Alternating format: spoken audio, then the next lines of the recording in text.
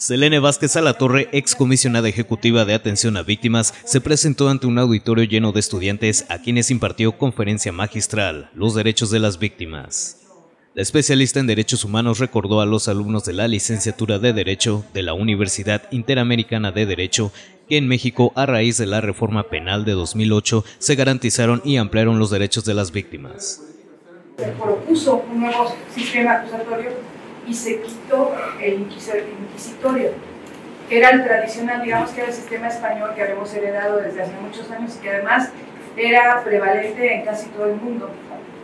El sistema anglosajón, por su parte, presenta una saladoralidad. ¿Qué, ¿Qué importancia tiene? Bueno, se modificaron muchos artículos de la Constitución, pero particularmente en el 20, antes había solamente dos incisos y hablaba de la Defensoría Pública y hablaba del derecho de los procesados, es decir, de los acusados. Ahora en el artículo 20 se establecen tres incisos. El primero es, digamos, general, el segundo tiene que ver con la Defensoría y es en el tercero, en el C, donde nos vamos a informar de que ahora las víctimas tienen el derecho a tener una defensa propia.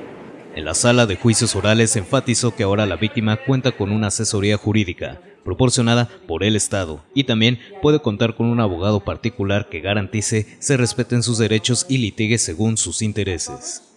Uno, a tener un asesor jurídico. Antes no lo tenían, antes tenían al Ministerio Público. Ahora tienen al Ministerio Público y a un asesor jurídico tiene derecho a, tener atención médica, psicológica y eh, cualquier otra garantía que requiera, por ejemplo, eh, que se le otorgue una medida de restricción, una medida de protección para ella o para sus personas, para la gente que sienta que puede estar en riesgo. El juez tiene la obligación de escuchar a la víctima, pero además el asesor jurídico de la víctima y la víctima misma pueden participar en el juicio y ambos pueden recurrir al Ministerio Público.